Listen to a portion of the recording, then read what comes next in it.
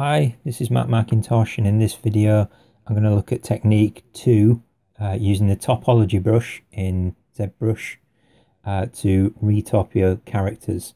So um, as you can see it's very similar to the process that I've shown before where you're drawing patches that you can delete lines off of.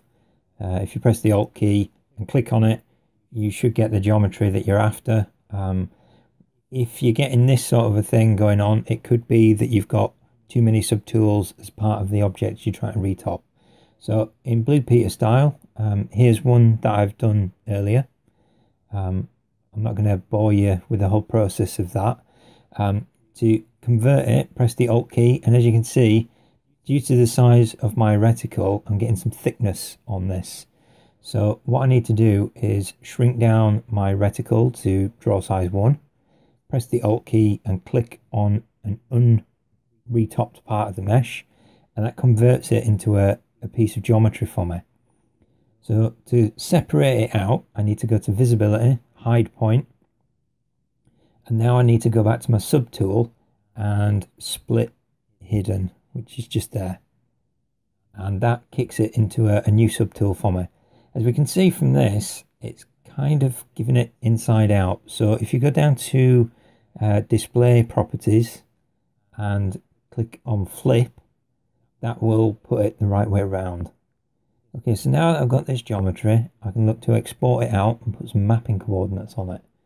So I'm just going to export it as torso extract and I'm just going to load it into unwrap UVW.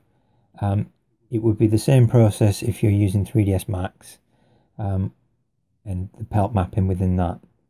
So all I'm going to do with this is cut my seam down the front, split it, and then I'm going to just flatten the object out, um, pressing F on my keyboard, or if it's plain silly buggers like this, just press Shift F, and as we can see, that's flattened it out quite effectively.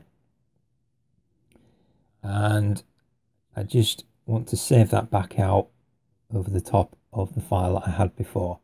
So if I import it back into ZBrush as torso extract, it comes in to replace the file that we had before, or the piece of mesh that we've got before.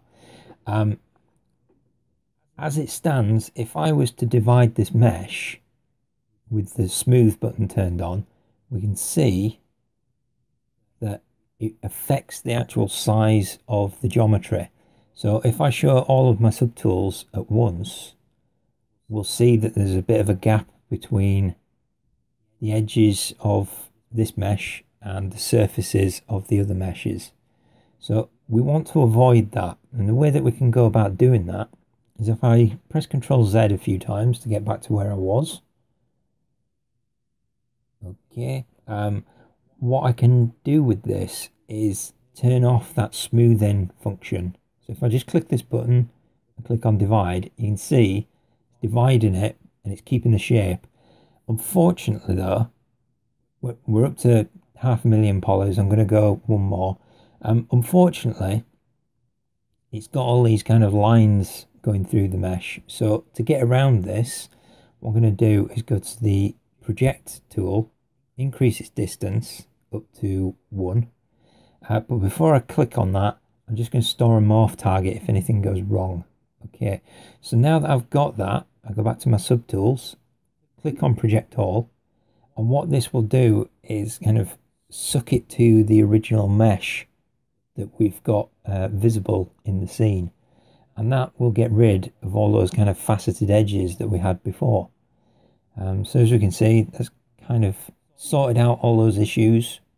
Um, now, as we can see, there was a little bit of a kind of uh, mesh sticking out on the back of the armor, which is just just here.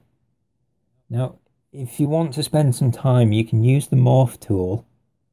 Um, that one, okay, and you can blend it back I'm not going to bother doing it, but it's just like using your um, standard polish tools and things like that, except it goes back to the morph target that we'd stored before. Okay, so what what possible use is this? Well, basically, because we've got mapping coordinates on it and we've retopped it in the form that we're after, we can bring in a texture with a pattern on it, a repeating pattern. So I'm just going to bring in this hexagon pattern that I've got. If I hover over it, you can see it there. If I turn the intensity into the negative and apply my displacement map, you can see that it's giving me a nice even pattern that goes all over the mesh and is nice and consistent. Which if you were trying to go around that with an alpha and apply it, you wouldn't be able to get as consistent a pattern. So it's really useful for kind of, you know, adding extra detail in later on if you wanted to put cloth surfaces or, you know, kind of fiber, cotton appearance. That would be a really good method. Thanks for listening.